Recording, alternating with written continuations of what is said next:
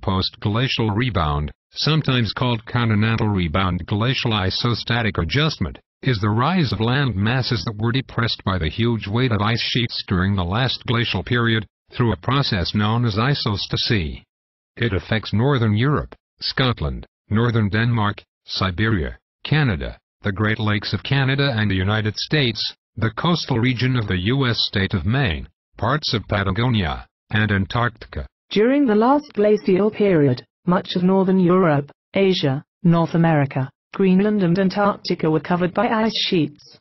The ice was as thick as 3 kilometers, during the last glacial maximum about 20,000 years ago.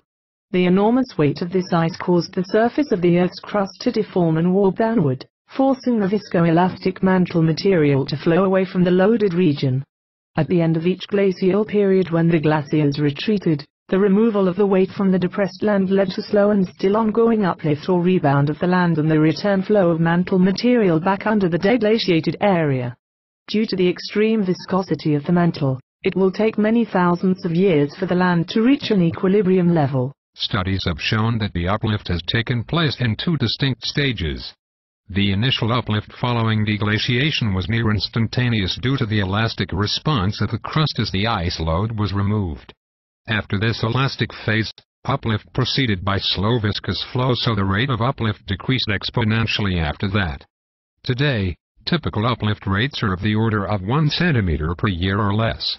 In Northern Europe, this is clearly shown by the GPS data obtained by the Bifrost GPS network.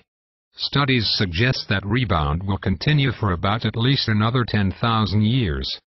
The total uplift from the end of deglaciation depends on the local ice load. Recently, the term post-glacial rebound is gradually being replaced by the term glacial isostatic adjustment. This is in recognition that the response of the Earth to glacial loading and unloading is not limited to the upward rebound movement, but also involves downward land movement, horizontal crustal motion, changes in global sea levels, the Earth's gravity field, induced earthquakes and changes in the rotational motion. Post-glacial rebound, or glacial isostatic adjustment, produces measurable effects on vertical crustal motion, global sea levels, horizontal crustal motion, gravity field, Earth's rotational motion and state of stress and earthquakes. Studies of glacial rebound give us information about the flow law of mantle rocks and also past ice sheet history. The former is important to the study of mantle convection, plate tectonics and the thermal evolution of the Earth. The latter is important to glaciology, paleoclimate and changes in global sea level. Understanding post-glacial rebound is also important to our ability to monitor recent global change. Vertical crustal motion, much of modern Finland is former seabed or archipelago, illustrated are sea levels immediately after the last ice age. Erratic boulders, U-shaped valleys, drumlins, eskers, kettle lakes, bedrock striations, are among the common signatures of the ice age.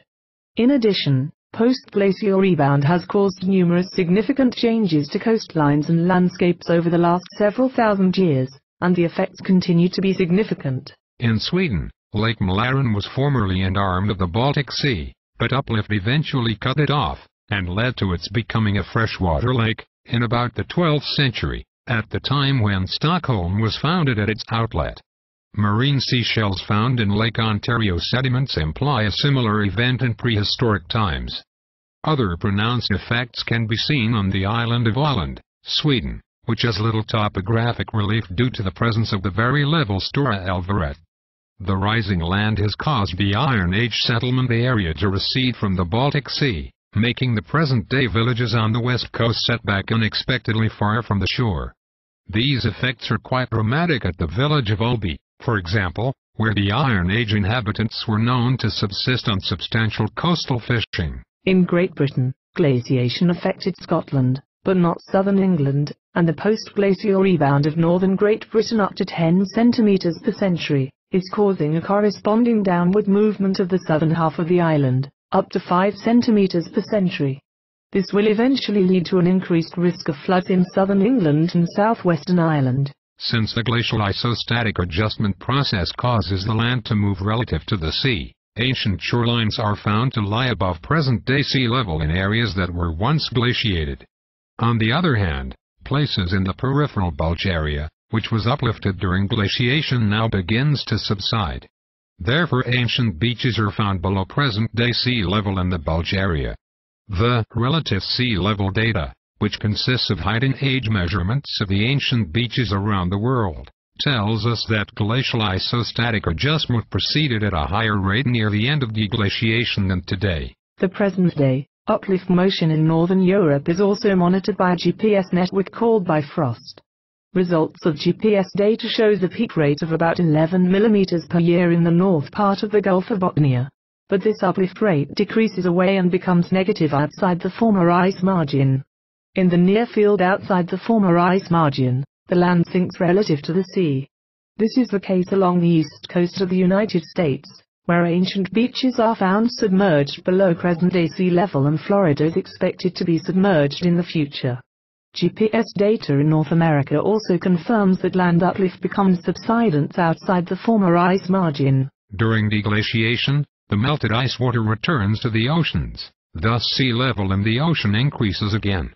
However, geological records of sea level changes show that the redistribution of the melted ice water is not the same everywhere in the oceans. In other words, depending upon the location, the rise in sea level at a certain site may be more than that at another site. This is due to the gravitational attraction between the mass of the melted water and the other masses, such as remaining ice sheets, glaciers, water masses and mantle rocks and the changes in centrifugal potential due to Earth's variable